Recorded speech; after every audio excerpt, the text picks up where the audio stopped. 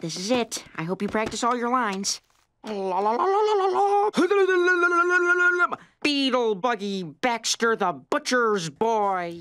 We hope you're having a wonderful day, and welcome to Planet Earth Technologies. Clarence, you coughed directly into my mic.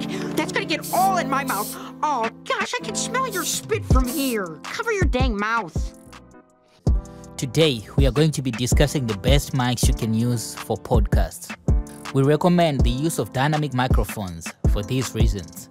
Dynamic mics normally come in cardioid, supercardioid, or hypercardioid pattern, meaning they do an excellent job of only picking up sound right in front of the grill and rejecting any ambient or room noise. The other reasons they are so popular in broadcasting is that they are really tough, reliable, and they have a great low frequency response. Condenser microphones are another common type of microphones that can be used for podcasting, but they tend to be more sensitive and do not do as good of a job at rejecting room noise. With that said, let's check out some great microphones you can use for podcasting or even your YouTube channel. First, it will be the Beast, the Shure SM7B. It has a cardioid pattern and a frequency response of 50 to 20,000 Hz. It has a weight of 765.4 grams.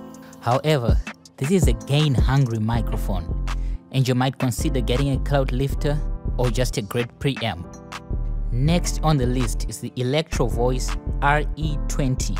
It has a frequency response of between 45 Hz and 18,000 Hz. It weighs 737 grams.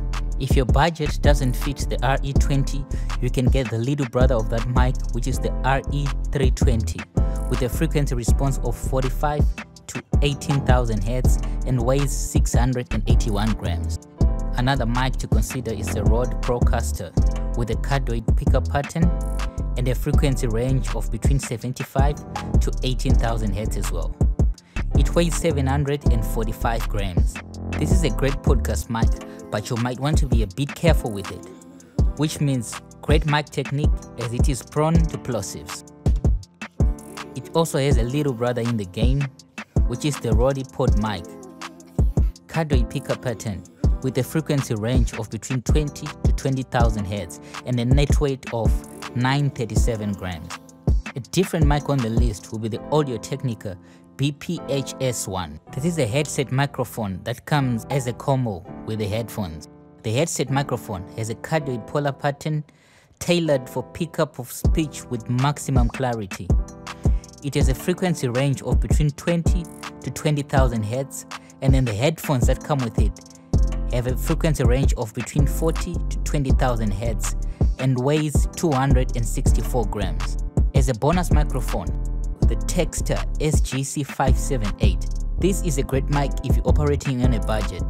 This has a frequency response of between 50 to 16,000 Hz. This is mostly tailored for interviews and video recordings with array pickup technology, high sensitivity, and a wide pickup range.